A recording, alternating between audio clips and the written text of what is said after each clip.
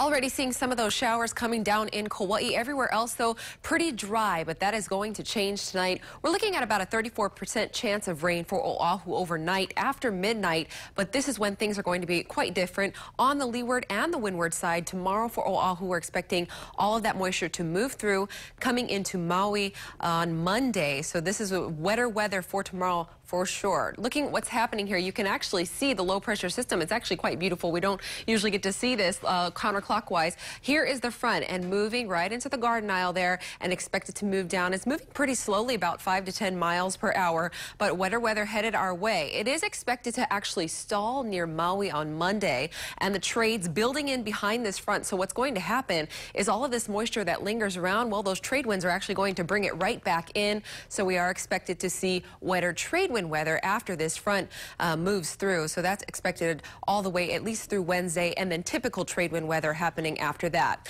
Not a lot going on in the surf, two to four feet pretty much everywhere except for the west shore, one to three feet. But we are expecting another swell to build in for the north shores on Monday, peaking on Tuesday. So that is expected to bring some uh, near advisory level surf there. And then once those trade winds return, we'll see a bump on the east shores as well. Weather for Kauai tonight, scattered showers for Oahu and Maui humid and foggy at least until those trade winds return. That is not expected tomorrow. We do have about a 60% chance of rain tomorrow, but here it is. Monday is when those trade winds will start to return, taking out some of that fog. And Tuesday, 30% chance of rain there, mostly in the windward and Mauka areas, morning and night hours. And then on Wednesday, looking ahead here, not looking too bad. Partly cloudy skies, breezy trades uh, Monday, Tuesday, but then they'll start to become more normal Wednesday through the weekend.